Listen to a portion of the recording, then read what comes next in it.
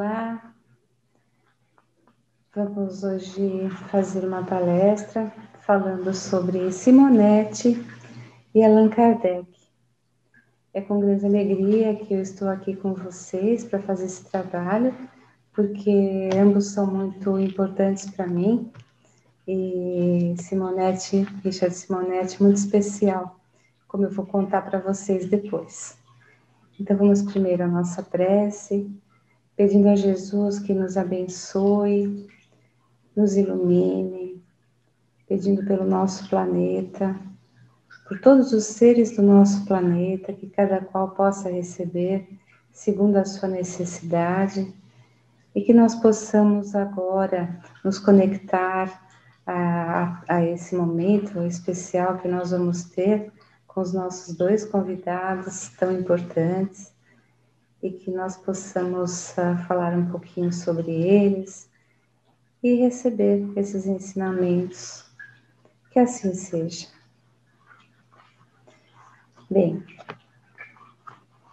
é, eu vou precisar ler algumas coisas, porque são muitas informações e eu quero falar tudo aquilo que eu preparei realmente sem deixar passar nada, tá bom? Então me desculpem quem está acostumado a assistir minhas palestras sabe que eu não fico lendo, mas no caso tem muita informação e eu quero fazer esse trabalho bem é, completo, né? Dentro daquilo que é possível nós fazemos nesses poucos minutos que, nos, uh, é, que nós temos aqui, tá bom? Então vamos primeiro falar de Allan Kardec. Ele nasceu em Lyon, na França, em 3 de outubro de 1804 e desde cedo se dedicou ao estudo das ciências e da filosofia. E ele foi aluno de Pestalozzi. A gente sempre ouve falar assim, ah, ele foi aluno de Pestalozzi, e muitos de nós não sabemos quem que é Pestalozzi, então vou contar para vocês. Pestalozzi, ele era um educador e ele partia do mais eh, fácil e simples para o mais difícil e complexo. Ele afirmava que a função principal do ensino é levar as crianças a desenvolver suas habilidades naturais e inatas. E segundo ele, isso é muito bonito, olha só, o amor deflagra o processo de autoeducação. Não é lindo? Então, o Kardec ele foi um discípulo de Pestalozzi, e isso foi muito interessante porque é, essa, essa ideia do Pestalozzi influenciou a reforma educacional na França e na Alemanha. Então, o nosso Kardec, né, ele era também um educador. E ele publicou mais de 20 livros didáticos de física, química, matemática, e esses livros eles ah, foram adotados em escolas e universidades. E Kardec nasceu na religião católica, foi, apesar de, de ser educado num país protestante. Quando ele tinha 15 anos, ele passou a, pensar na ideia de uma reforma religiosa. E ele trabalhou em silêncio uh, sobre isso, né, durante longos anos, mas uh, no final das contas ele não, não levou isso a cabo, não dessa forma como ele pensou, mas o Espiritismo veio depois trazer a ele uma direção especial a esses trabalhos que ele havia é, concebido, né? Ele pensou sobre isso, mas acabou fazendo é, uma coisa que para a gente é ainda melhor, que, que foi começar a lançar essa luz sobre é, tantas questões interessantes. Então, a partir dos escritos que ele organizou, foi que nós pudemos ter a nossa doutrina, e isso é muito hoje, né? Até hoje, depois de 151 anos, ainda é, é uma coisa tão importante para nós.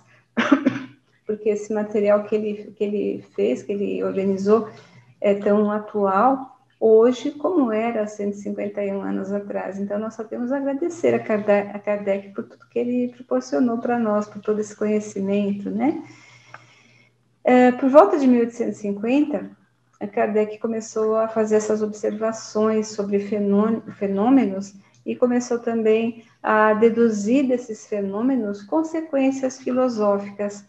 Então, ele começou a, a fazer essa observação, essas pesquisas, e isso foi muito importante, porque tirou aquela ideia de superstição que havia, né? E lançou, sim, uma, uma luz sobre tudo isso. O que aconteceu foi que pôde, é, tudo isso pôde nos esclarecer e todos aprenderam muito com aquilo. No começo, todo mundo sabe daquela história das mesas que giravam e tudo mais, as mesas girantes, mas depois isso foi perdendo a importância, porque o, o, os fatos que ele trazia, os ensinamentos que, que ele trazia, eram muito mais uh, interessantes do que esses fenômenos, não é? Que, por sinal, abrindo aqui um parênteses, estão bem explicados no livro dos médiuns, fala-se bastante sobre essa história das mesas uh, girantes. Para quem nunca leu, o livro dos médiuns não é um livro que é para quem é médium só, é para quem quer aprender um pouco sobre toda essa história de mediunidade, sobre esses fenômenos, né? E no livro fala até o seguinte, que quando a gente começa a entender tudo isso, cai por terra toda e qualquer superstição. Isso é muito importante, né? Porque ficar só é, dentro de uma coisa supersticiosa não leva a gente a lugar nenhum.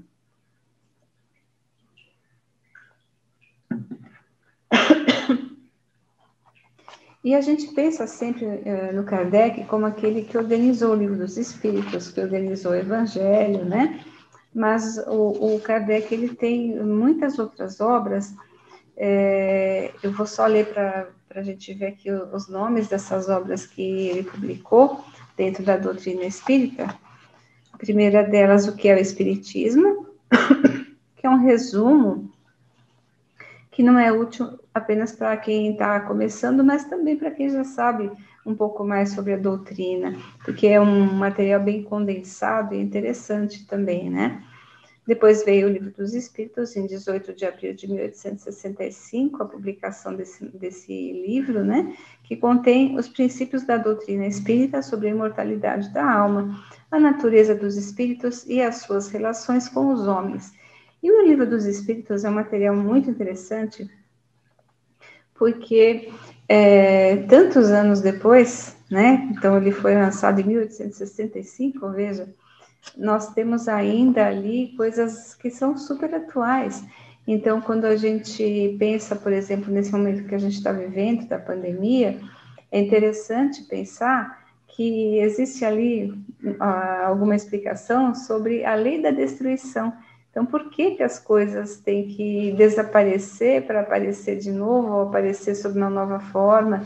Então, é interessante, viu, gente? É assim, é, o livro dos Espíritos é um material que, independentemente do assunto que a gente esteja é, buscando, a gente vai encontrar ali algum tipo de resposta, assim, que nos satisfaça em relação ao que a gente está procurando.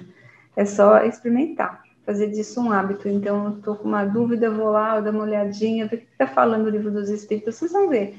Tem muita resposta e é tudo muito atual, embora já faça tanto tempo que ele foi lançado.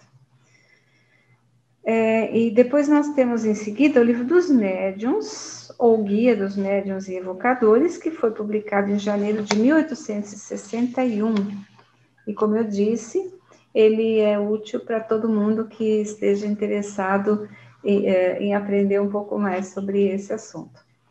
A Gênese, os milagres e as predições segundo o Espiritismo, é uma obra que tem é, por objetivo o estudo dos uh, três pontos interpretados e comentados, né, que é o Evangelho, a Gênese e milagres e predições observados com as novas leis que decorrem da observação dos fenômenos espíritas. E por final, em 1864, o nosso livro de cabeceira, né, é, o Evangelho segundo o Espiritismo, que tem instruções dos espíritos superiores, sempre registradas ao final daqui, daquela, da, daquelas máximas de Jesus, as máximas morais de Jesus. Então, é onde Jesus nos convida a vivenciar tudo isso no nosso dia a dia. Em seguida veio o Céu e o Inferno, ou A Justiça Divina segundo o Espiritismo, que foi publicado em agosto de 1865, e daí vieram várias revistas espíritas, de 1858 a 1869. E agora eu vou só falar os títulos, porque sabe que a gente pensa só nessas obras e a gente não lembra que ele fez outros trabalhos também. Olha só, o Espiritismo em sua mais simples expressão, Viagem Espírita em 1862, Instruções práticas sobre as manifestações espíritas, Resumo da Lei dos Fenômenos Espíritas, Catálogo racional de obras para se fundar uma biblioteca espírita. Eu achei interessantíssimo esse trabalho, eu não sabia que ele havia feito, e tem a indicação de cerca de 200 livros e todos é, classificados pelo Kardec, né? Então a gente vê que ele era bem professor mesmo, tinha essa coisa de professor, né?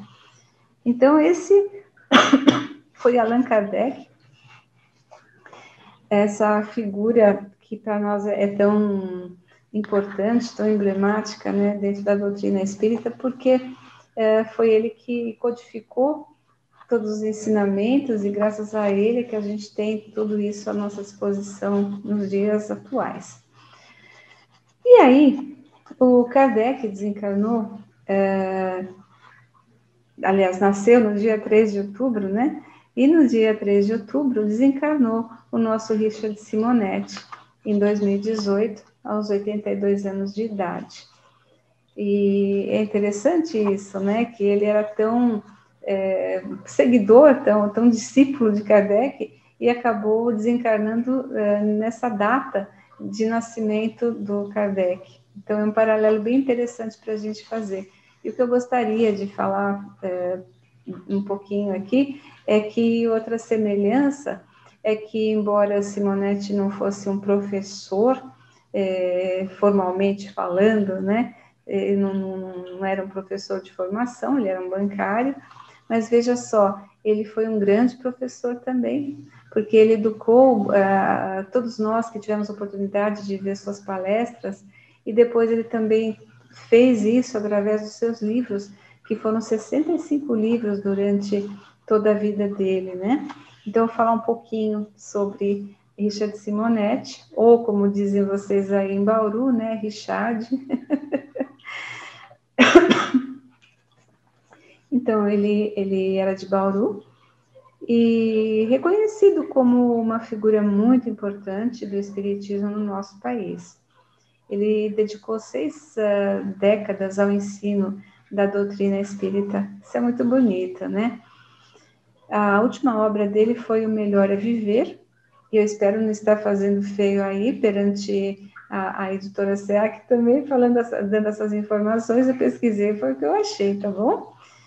E também, durante 36 anos, a Richard Simonetti esteve à frente da presidência do SEAC, Centro Espírita Amor e Caridade, que aí para a cidade de Bauru é uma obra maravilhosa, porque é, por ano ajuda cerca de 25 mil pessoas, mais ou menos, se eu, se eu não estou enganada.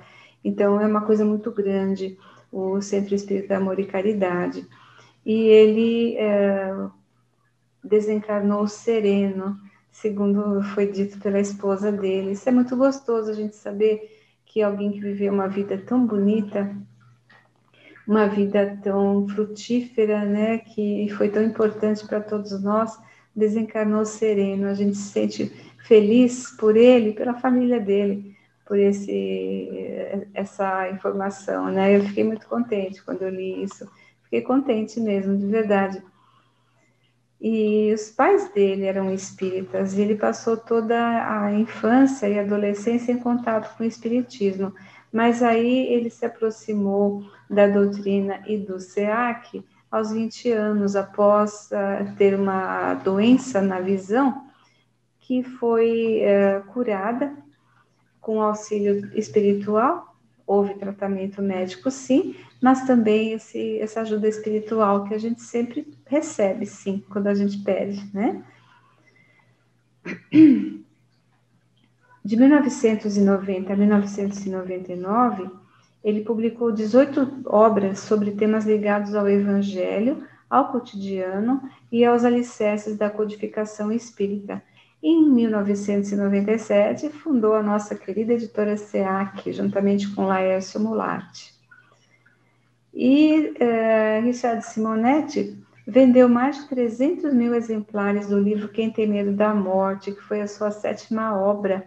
E essa obra consagrou o Richard entre os autores mais importantes da literatura espírita. Não sei se vocês já leram, gente, mas vale super a pena ler esse livro. Ele é um livrinho divertido. Ele ensina ao mesmo tempo que ele é muito muito gracioso, sabe? É um livro muito bonitinho mesmo. Eu lembro que na ocasião que eu comprei, eu comprei porque meus filhos eram pequenos e eu achei que eles iam gostar de ler esse livro. Muito bonitinho mesmo. Richard Simonetti palestrou nos Estados Unidos, Austrália, Bélgica, Inglaterra, França, Itália, Suíça, Portugal e Itália. E os seus livros foram traduzidos nas mais diversas línguas. E até na Finlândia, os livros dele foram comercializados. Olha só. Então, é, ele tem aí uma outra coisa muito legal que ele fez e que eu de verdade não sabia ele foi o precursor da modalidade do clube, clube do livro espírita no país, o que de fato auxiliou demais na expansão da doutrina espírita. Então, nós devemos a ele essa ideia do clube do livro espírita também. E, e é claro, uh, qual a importância de um livro espírita, né? Vamos falar um pouquinho sobre isso.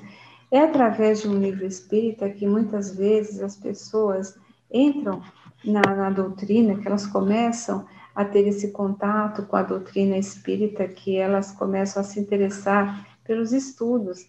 Porque, veja, a gente às vezes fala assim, ah, eu não gosto de romance espírita, não gosto das historinhas e tudo mais, só que são essas histórias, muitas e muitas vezes, e eu sei disso, porque as pessoas contam para mim nas palestras, e mesmo pessoas que eu conheço, que foi por, por intermédio de um livro que, que leu, de um romance, é, ao qual às vezes nem se dá tanto valor, porque tem gente que tem um preconceito danado com romance, né? Mas eu quero lembrar que Bezerra de Menezes escreveu romance. Eu quero falar para vocês também que nosso lar, embora tenha muitos ensinamentos e, é, Sexo e Destino, né, que André Luiz ditou para o Chico Xavier, são livros que, que são romances, né? Então, veja, às vezes a gente não, não, não, dá conta de sentar e ficar ali martelando um ensinamento na nossa cabeça, mas a gente consegue ler um livro que seja mais prazeroso, é, no sentido de que, às vezes, né, muitos de nós não estamos preparados naquele momento para adquirir conhecimentos mais densos, de uma forma mais, entre aspas, né, mais uh, séria, um jeito um pouquinho mais uh, uh, formal de, de aprender. Então, o romance acaba nos trazendo ensinamentos. Então, um bom romance, ele vale tanto a pena ser lido é, por causa disso. E é muito interessante hoje mesmo, uma coincidência, até, né, diz que não tem coincidência, mas hoje eu atendendo uma, uma das pessoas que eu atendo, uma analisanda, ela é da, da religião evangélica, e ela falou assim para mim que encontrou um livro do Antônio Carlos e Vera Lúcia Marizek de Carvalho, me fugiu agora o nome do livro, mas ela falou assim que ela começou a achar aquilo tudo tão interessante que ela teve curiosidade e interesse de descobrir mais algumas coisas e ela está procurando essas informações, ela está buscando aprender mais sobre, sobre a doutrina espírita por causa desse livro que ela achou, que encontrou o livro. Olha que interessante, né, gente? Então, veja, um romance simples e com tantos ensinamentos preciosos e acaba, às vezes, modificando até a vida de uma pessoa, não é? Então, precisamos sim dar muito valor ao livro espírita e cada vez mais especialmente nessa época em que nós estamos vivendo, em que as pessoas parecem que não sabem mais conversar, não sabem mais escutar. Todo mundo parece que fala junto ao mesmo tempo, como se todos falassem várias línguas e ninguém chega a conclusão alguma. Então, o, o livro espírita, ele pode sim mudar a vida de alguém para muito melhor, fora o consolo que nos traz, né? Não é verdade?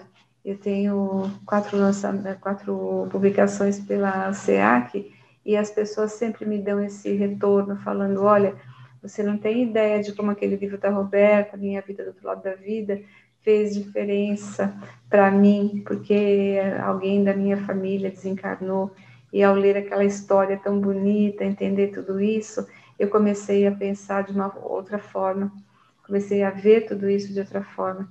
Então, veja, nós estamos sempre, sempre sendo muito abençoados, especialmente se nós tivermos uh, essa abertura para buscar as coisas, né?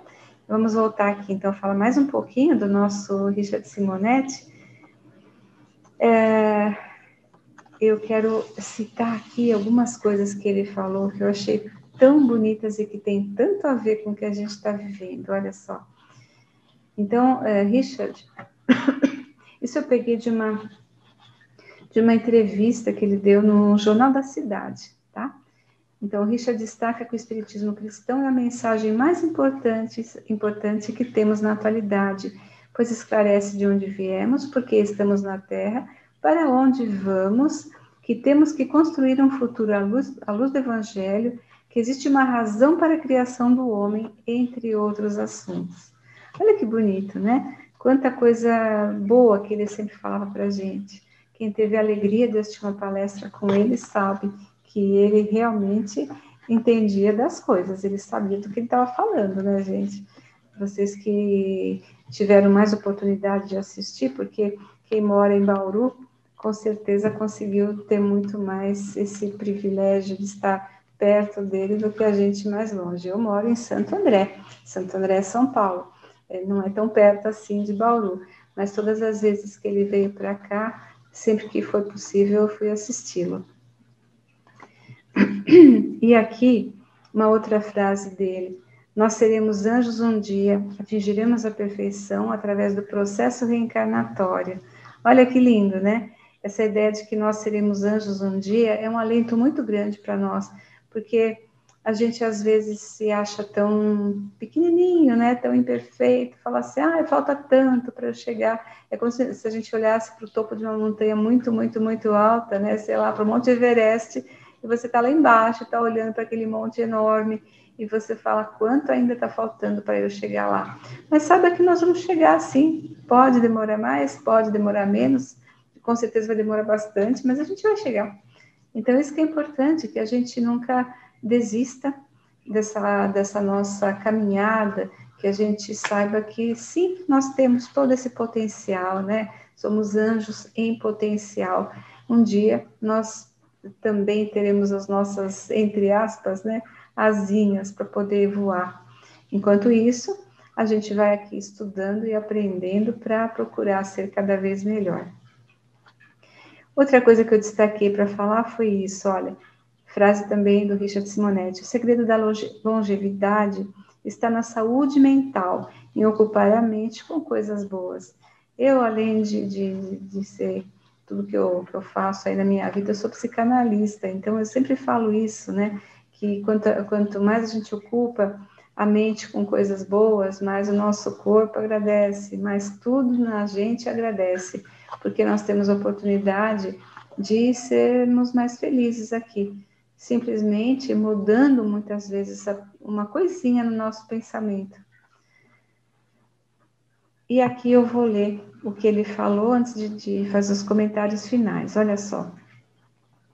O Espiritismo mostra que a nossa história é orientada pelo mundo espiritual. Todos os grandes eventos da humanidade são inspirados por espíritos que vieram à Terra para esses eventos. O mundo realmente virou uma confusão, parece um campeonato de maldades, mas está tudo sob controle. Não estamos entregues à nossa sorte, existe um poder orientador que é Deus e existem os prepostos de Deus que nos conduzem. Chegará um momento em que tirarão da terra aqueles que não quiserem progredir, os que são comprometidos com o erro, o vício e o crime. Assim, a Terra será promovida a um planeta de regeneração, onde as pessoas estarão harmonizadas, vivendo bem. Todos os meus livros trazem essa problemática.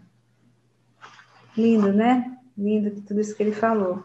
E eu quero prestar minha homenagem, né, muito, muito simples aqui, ao, ao Richard Simonetti, porque ele foi muito importante para mim. Eu digo que ainda é, e eu falo sempre que ele é meu padrinho literário, porque o primeiro livro que eu publiquei pela CA, que foi entregue nas mãos do, do, do Renato, da editora, pelo Richard Simonetti. Ele veio fazer uma palestra aqui em Santo André e eu dei esse livro para ele pra levar aí para Bauru, levar para a editora. E ele falou: ah, pode deixar que eu levo, sim, eu vou entregar. E foi daí que começou a minha história com, com a SEAC, e eu sou muito agradecida a ele por essa oportunidade que ele me deu. Ele simplesmente pegou o livro e entregou, né? Às vezes a pessoa fala assim, ah, não pode deixar que eu entrego, e, e nunca esse livro chega. Mas ele teve essa, esse gesto de, de bondade né, comigo. E aí, em 2014, eu fui a Bauru para o lançamento do segundo livro, que foi Caminhos Cruzados, e eu tenho ali foto com ele. Eu lembro que eu fui fazer palestra, era um domingo de manhã, e a hora que eu vi que Richard Simonetti estava ali assistindo a minha palestra, meu coração batia tão forte que eu achei que fosse arrebentar. Eu falei, ah, ele está aqui. Eu não sei se vou conseguir fazer essa palestra, né? Mas aí eu falei, não, é o contrário eu realmente vou me dedicar a essa palestra, porque eu vou fazer essa palestra para todo mundo, claro, mas em homenagem a ele, que me abriu as portas para começar as minhas publicações aqui pela editora SEAC, né?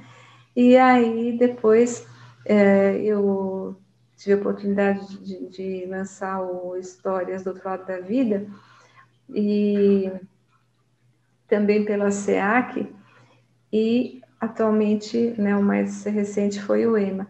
E cada vez que eu pego meus livros, eu de verdade lembro do Simonetti, de como ele, ele tinha essa, essa, essa simplicidade, sabe? Eu vi muitas vezes ele atendendo as pessoas, ele participou de Semanas Espíritas aqui em Santo, Santo André, e eu lembro dele falando com todo mundo, dando atenção para todo mundo, sempre esclarecendo o que as pessoas perguntavam, e isso era muito gostoso saber que uma pessoa tão importante como ele, uma pessoa tão capacitada a trazer esse trabalho, a continuar o trabalho de Kardec, podemos dizer isso, né?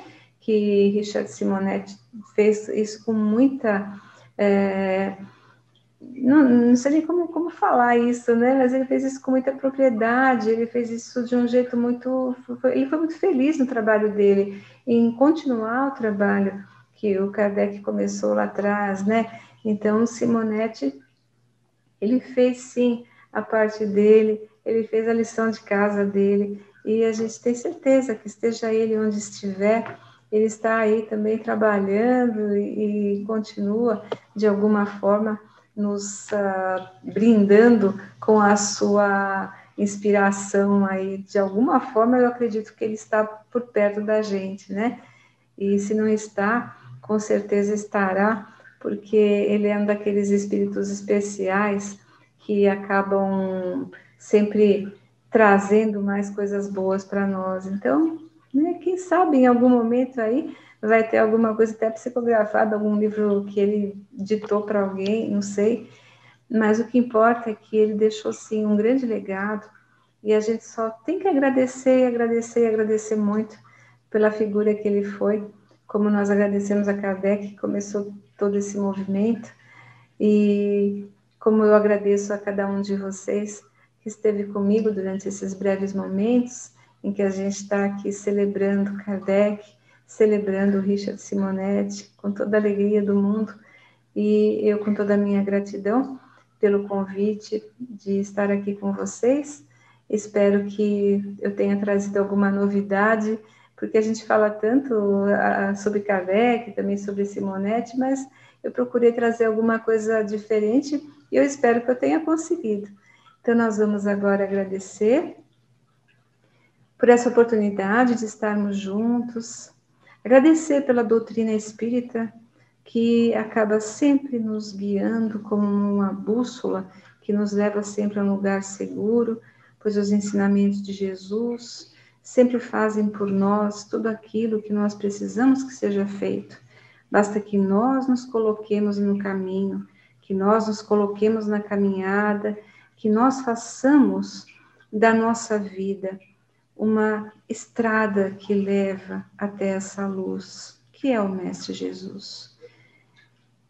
E agradecemos Allan Kardec, agradecemos a Richard Simonetti, pedindo que eles sejam também muito abençoados onde eles estiverem, pois com certeza eles começaram um trabalho e ainda há muito a fazer. Nós aqui na Terra estamos ainda engatinhando, mas pelo menos nós não estamos parados, nós estamos continuando na nossa estrada, na nossa jornada e sempre à luz dessa doutrina bendita, pela qual somos tão gratos. Vamos então vibrar pela nossa Terra, nosso planeta Terra, por todos os seres desse planeta, que cada qual possa sempre receber o que estiver mais necessitando e que nós possamos aprender a nos abrir para receber as inspirações que vêm do outro lado da vida. Que assim seja. Muito grata a todos e eu espero que nós possamos estar juntos novamente em breve. Sempre que eu for convidada, vai ser uma alegria estar aqui com vocês. Esse ano era para ter ido para Bauru, para ficar com vocês um pouquinho aí, fazer palestra, autografar os livros junto com a Roberta, né, que é quem eu psicografo mais, mas vai ficar para uma outra oportunidade. Se Deus quiser, logo tudo isso passa e nós poderemos novamente nos abraçar e aí sim nós estaremos uh, juntos pessoalmente. Mas abençoada tecnologia que faz com que a gente consiga estar longe e perto ao mesmo tempo. Um lindo dia para todos, uma linda vida para todos. Sejam muito abençoados e felizes hoje e sempre. Muito obrigada.